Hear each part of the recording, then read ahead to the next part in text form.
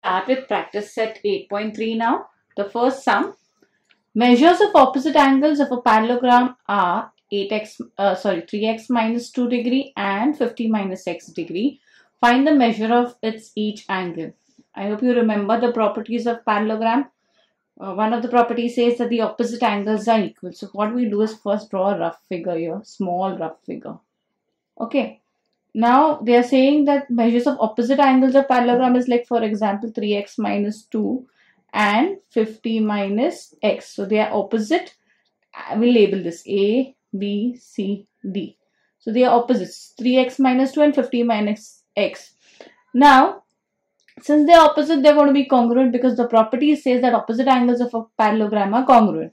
So uh, 3x minus 2 is going to be equal to 50 minus xy Because opposite angles are congruent. So we'll solve this first. We'll get the value of x. We'll get the value of angle A and the value of angle C.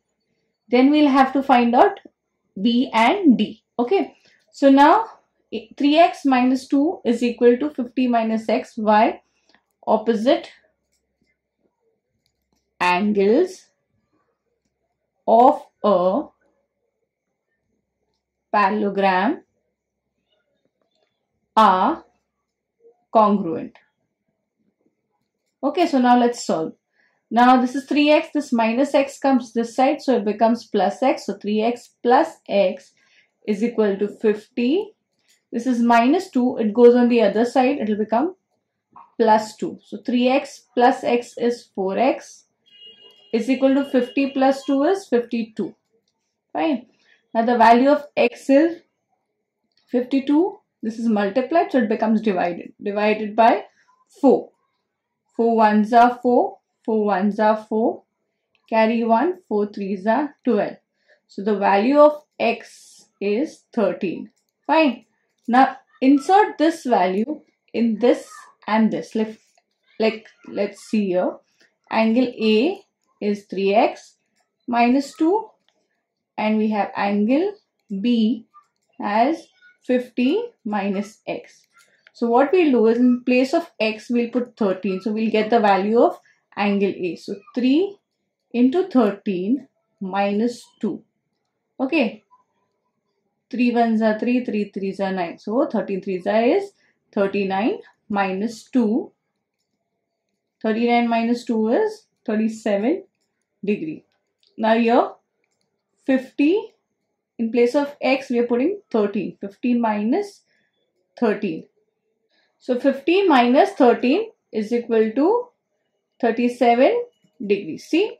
Angle a and angle b they are congruent. So this is done. Now we have to find out d and b. We know that when we calculate we add up all the measure is going to be 360 because all the angles when they are added up, the sum of the measures of all the angles of a quadrilateral, it's 360 degrees. So A plus B plus C plus D is going to be 360. B and D, they are opposite, so they are going to be equals. For example, if I say uh, let uh, this be D be Y, so our B is also going to be Y. Okay, so we label let measure angle D is equal to Y. Therefore, measure angle B will also be Y. Why?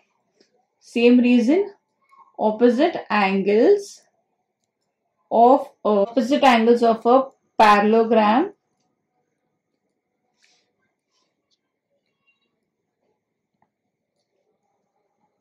are congruent. Okay.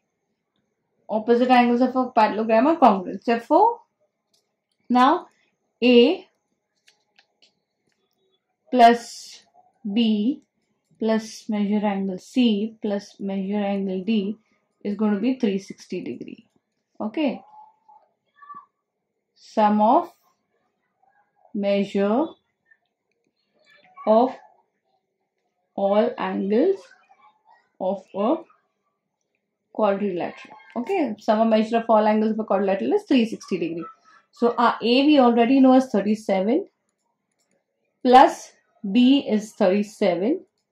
C we know it's Y we've kept and D is also Y is equal to 360 degree. Okay. 37 plus 37 gives us 7 plus 7 is 40. 6 and 1 74. Okay. Plus Y plus Y 2Y is equal to 360. Now 2Y is equal to 360 minus 74. When you subtract uh, 74 from 360 you get 286 okay so y upon 286 y is equal to 286 upon 2 this 2 comes down. 2 ones are 2 ones are 2 fours are 2 threes are. So therefore the value of y is 143 that means finally your angle A is 37 degree. Angle B is 37 degree. Angle C is 143 measure angle D is also 143 degree. Okay? That's it now here they say referring the adjacent figure of a parallelogram write the answers of the questions given below. Now here yz is 4.5 fine.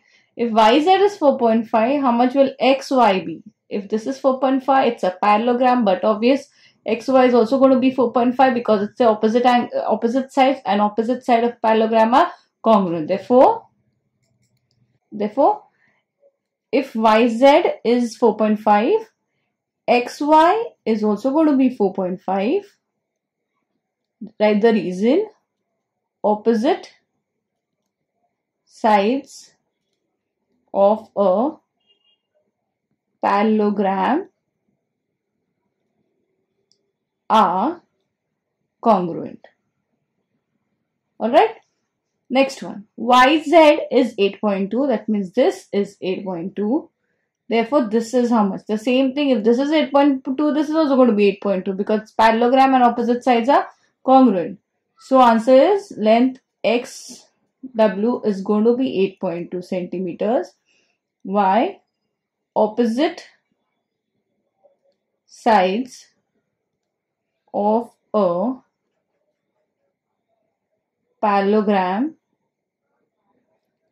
are congruent. Alright, the next one. If OX, that means if this is 2.5, how much is this going to be? If this is 2.5, this will also be 2.5 because diagonals bisect each other. Therefore, length OZ will be 2.5. Why? Diagonals of a parallelogram bisect each other. Done? If WO is 3.3. How much is the whole thing? If WO is 3.3, how much is WY? If this is 3.3, this will also be 3.3. And the whole thing is going to be 3.3 plus 3.3, that is 6.6. We'll solve it here. Length WO is 3.3 centimeters. Therefore, length OY is going to be 3.3 centimeters. Reason diagonals bisect. Okay, diagonals of a rhombus bisect each other. Now the whole thing length WY is going to be length WO plus length OY that is 3.3 plus 3.3 is equal to 6.3 6 centimeters. Now the, the next one, the fifth part of the sum. The fifth sum says that the fifth sum says that if measure angle WZY, WZY, okay, this is 120. Fine. How much will WXY be? WXY Y will also be 120 because they are opposite, right? So opposite angles are congruent. So this is 120, this is 120. They also want you to find out x, y, z. Now we know this is 120, but we don't know how much is this. Again, we'll have to use the same method. Keep this as x and this will also be x. So use the formula, uh, use that method. Sum of all measures of angles of a quadrilateral is 360. So you use that method and find it out. So this is done. W z is xy is done. Now let's find out this. So x plus y plus z plus w is equal to 360. So 120 plus y plus 120 plus w is 360. So I'll solve. Okay, let's do sum number 3 now. Construct a parallelogram ABCD such that BC is 7. Okay, parallelogram A, B, C, D such that BC is 7 centimeters, ABC is 40 degree and length AB is 3 centimeters. Okay, this much is given. Now since it's a parallelogram, we know opposite sides are going to be congruent. So BC is 7, that means this is 7. AB is 3 means this is going to be 3. Alright, now let's construct.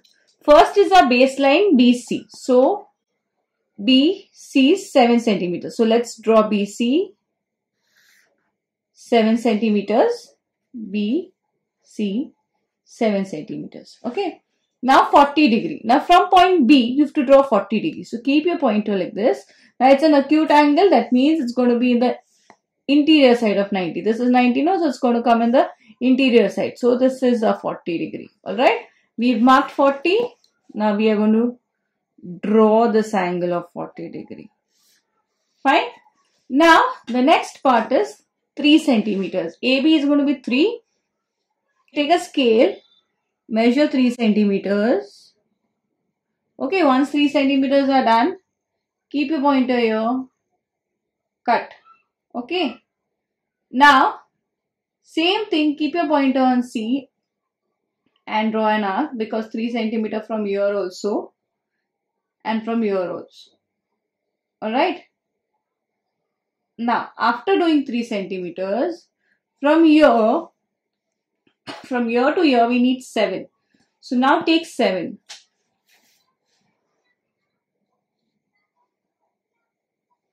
Seven centimeters. Once seven centimeters done, keep your pointer here and cut. Alright. From year 7, from year 3. So now join.